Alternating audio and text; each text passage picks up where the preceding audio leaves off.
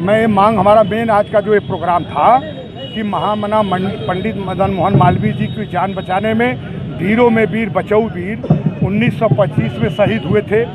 वही बचऊ वीर 1919 में बब्बर शेर मारे थे। तो शेर मारने वाला तो सौ साल होने जा रहा है अगले महीने सितंबर में। अब उनके बाद जो मरे हैं। तो जब इतना दिन हो गया मालवीय जी के साथ एक बचऊ बाबा का मंदिर मूर्ति बनने के लिए हम केवल बीएचयू में 20 बाई 20 का जगह मांग रहे हैं। मूर्ति हम लोग अपने आप बना लेंगे, भीख मांग के लोहा। अब सवाल आ गया कि इसलिए आज के ये प्रोग्राम हुआ कि पहला चरण मालवीय जी के चरण में फूल माला चढ़ाना था और उसके बाद दो शब्द बोलना था।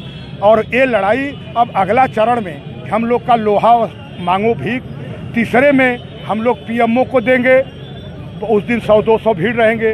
उसके बाद हम लोग की लखा भीड़ का सभा होगा, जिसमें दस हज़ार पहलवान थे बचऊ बाबा। तो दस हज़ार पहलवान और नब्बे हज़ार देखने वाली भीड़ जुटेगी सिर की धरती पर।